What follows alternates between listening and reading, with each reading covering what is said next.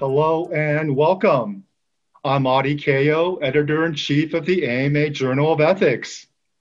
Thank you for joining us for this video edition of Ethics Talk. I'm here with Matt Wuerker, the Pulitzer Prize winning cartoonist at Politico.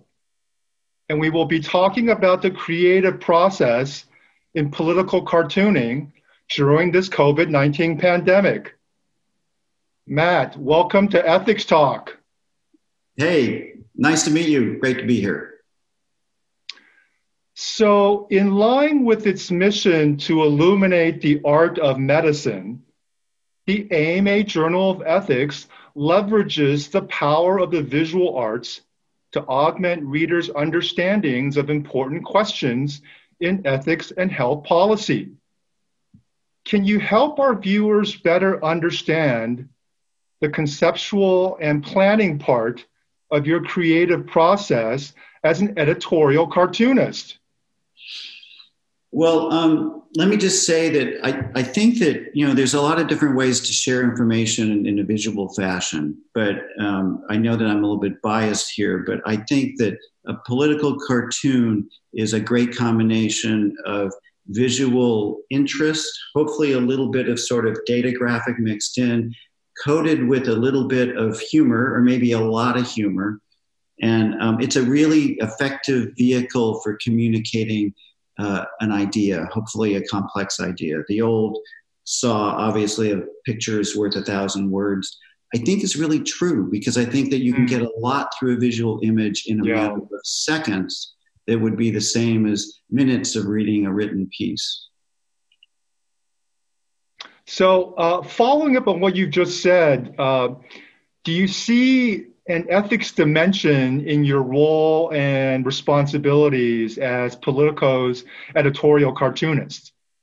Uh, you know, of course, I of course I do, and uh, I mean, the first place I'd start is that uh, I, I feel it's very important to stick to true facts and not be part of. I think one of the growing problems we have in American politics is sorting out truth from lies, propaganda from from agitation, things like that. So I would like to uh, think that the work that I do it contributes to sticking to the facts and mm. dealing with true issues. Um, it's a different time for political cartoonists. I mean, we've been around for centuries, and for the better part of the last couple centuries, we worked with uh, publications that had gatekeepers, editors, publishers who sort of held you to certain ethical standards or journalistic standards. And these days, a whole lot of political cartooning is done on social media. So there's no, there's very little adult supervision. Let's put it that way. Um, and so it's important for cartoonists to hold them to some standards. Um, you'll see stuff going out there where people are contributing to crazy stuff like QAnon, conspiracy theories, and the like. And um, that to me is incredibly reckless. So, job one for a political cartoonist is to deal with facts and mm-hmm. um, and and hopefully in a civil manner. Yeah. So how the how our government and the American public at large have responded to COVID nineteen um, have provided, I think, plenty of fodder for uh, cartoonists. How do you approach cartooning a topic as serious as a pandemic that has affected millions and killed hundreds of thousands in the U.S.? Um, it's a fine line, you know. It, uh, political cartoonists actually deal with fairly heavy issues all the time, issues of yeah. war and peace and things like that. A pandemic is sort of in that same category, and uh, I personally, and I, most of the cartoonists I know and respect, work at trying to contribute to the debate, maybe bring a certain amount of levity to it, um, but never go over the line where you're trivializing or uh, you know causing uh, emotional pain to people who are going through horrible things. Yeah. Uh, sometimes you skate right up to that line. A lot of humor is going right up right up to the edge of tweaking people, and uh, in situations like COVID, um, it tests that. But you with some with, with some sensitivity, you can do that. Yeah. And, so I like to. Well, I was going to say one more thing. Go thing. ahead. It's the old thing about you know laughter is the best medicine um, doctors may disagree with this, I understand, but um, but it's an old saying, and there's something to it. It's like a little levity laugh so that we don't cry as we go through stuff that's that's trying or, or whatever, like a like a horrible pandemic like that. I think that that can be also constructive. Yeah, no, I think you make a good point. I think humor and medicine uh, can be used uh, uh, when used appropriately, can be quite therapeutic. Yeah, yeah, yeah, exactly.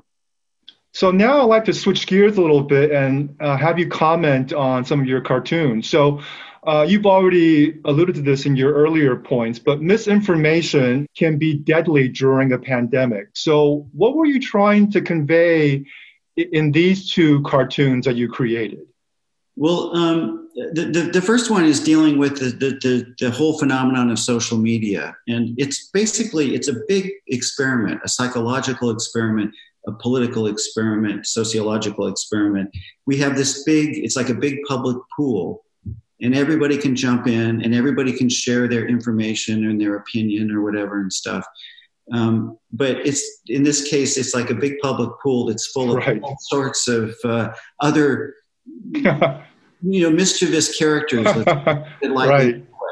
and uh, so it was just uh, again a lot of what we do as cartoonists is we're trying to find an apt metaphor that illuminates something in a way that where people can see it in a different light um, the other one here is uh, dealing with uh, donald trump and uh, the uh, the misinformation that's been coming out of the white house about the covid um, situation and stuff. And so I, it would sometimes we'll hang cartoons on a news hook. This was after a couple of particularly horrible tornadoes in the U.S. Mm. And uh, so in the morning, I sort of compared the devastation of the misinformation, in this case, to fact checkers in particular, whose job um, I um, do not envy these days. They're working very hard.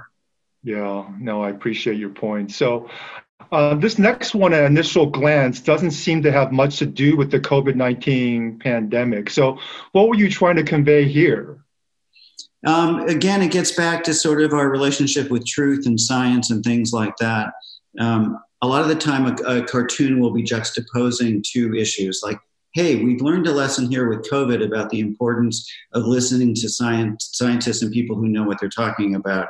Yeah. And oh, what's that remind us of? Climate change is a very similar sort of thing where we really need to pay attention to the science if we're going to um, uh, really address the issue. Yeah. Now, with this one, um, you know, it speaks to wearing a face mask has become a political statement for many during this pandemic. So, what were you trying to say with these two cartoons? Uh, well, there's been uh, the, this is basically lampooning the White House's tendency to make light of the pandemic and also make light of the uh, public health guidelines that have been put out. And um, they were refusing to wear masks. This is a, a, cartoon from a few months ago, but they were basically refusing to wear masks in the White House. In fact, it was sort of a mark of disdain if you showed up with a mask, apparently. Um, and then I was sort of imagining, well, they're you know they're trying to put a happy face on the whole situation. So uh, uh, hopefully this conveys that. And then the second cartoon. Yeah, the the other one is just uh, you know everybody recognizes the old trope of Uncle Sam. I want you. Yeah. And this one was quite popular. This one got picked up quite a bit in social media um, you know, some people sending this off to their Uncle Buck who was refusing to wear a mask and wasn't yeah. with the, the war on the virus. Yeah. So I, it's also, this one's an example in some ways of a lot of cartoons are not necessarily meant to be funny.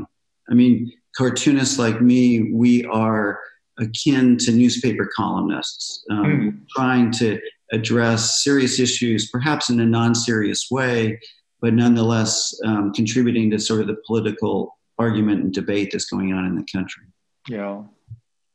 So this last cartoon speaks about the definition of a pandemic being a global outbreak of disease. What were you trying to convey here in this last cartoon? Well, this is mostly me. Just I really love to draw fire trucks. I'm basically so uh, it started with the fire truck. No, no, this was this was back when um, uh, it was uh, Trump was pulling out of the WHO right in the middle of a global pandemic. And uh, my understanding is that we're one of the prime, if not the prime, benefactor supporter of the WHO. And it just, again, a simple analogy, hopefully that clarifies a dynamic for people in a somewhat humorous way. But this is uh, Trump taking his hose and heading home. Yeah. From the fire truck. So for this final segment of our uh, conversation today, Matt, can I ask you to draw an impromptu cartoon so our viewers may gain some better insights into the drawing part of your creative process as an editorial cartoonist? Okay, I would. I'd be happy to do that. Um, I will demonstrate on camera that the uh, first step in a cartoon is really not the drawing; it's the idea. Um, when I was a young cartoonist starting out, um, my uh, my mentor Paul Conrad, who was a great cartoonist at the Los Angeles Times, hammered into my head. It's it's not the drawing; it's really you got to come up with a really good mm. concept. Yeah. Um, but knowing that you were going to put me on the spot, I been cogitating. okay. Um, and to demonstrate another part of political cartooning is grabbing sort of a news item that is uh, relatively fresh and responding to it. So just last night, I'm not sure when this is going to go up uh, online, but just last night we had the vice presidential debate. And like many things in politics, we got all uh, fixated on a strange thing that maybe wasn't the central issue, but the fly, the fly that landed on Vice President Pence's hair and kept sort of hanging out. So um, I've been trying to figure out what to do with the fly. And um, here, pull some paper up here. So I was imagining that what I could do is I could, this is a rough sketch on camera. I'm not used to doing this. Um, so I would start with maybe, I normally, when I'm doing a cartoon, I will do three or four or even more um, rough sketches, uh, pencil sketches, and then overlays with more sketches and things like that. Um, but in this case, there's Mike Pence, who's got very dark eyebrows, fortunately. And then I was imagining as I was watching The Fly last night in the debate, it was this thing that Pence refused to respond to. He was not going to like shoo the fly away or do anything like that. He um, he stayed perfectly still, and he just hoped that if he ignored it, then everybody would ignore the fa- fact that there was a big fly on his very white hair. And I was realizing that in some ways the fly is like a perfect metaphor for the pandemic. Hmm. That the vice president was sitting there really hoping that the fly would just fly away, or as President Trump has said, magically disappear.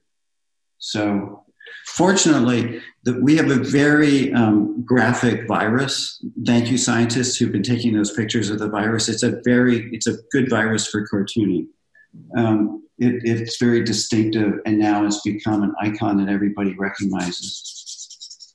And so I was thinking what I could do with a cartoon is I could turn the virus into the fly that Mike Pence really hopes we're not going to notice is sitting right there on his forehead or on his scalp. And then I get, I'm, I'm old fashioned. I would be very comfortable working in the 19th century as a cartoonist. I would then spend a lot of time doing cross hatching and shading, like Thomas Nast or one of those cartoonists, but something like that. Yeah. well, Matt, I appreciate you letting our audience and myself be a fly on the wall uh, of your creative process. Uh, and on that note, I want to thank Matt Wuerker for sharing his artistic insights with our audience today. Matt, thanks again for being a guest on Ethics Talk. Thank you, Audiey. Real pleasure. For more COVID ethics resources, please visit the AMA Journal of Ethics at journalofethics.org. And finally, to our viewing audience out there, be safe and be well. We'll see you next time on Ethics Talk.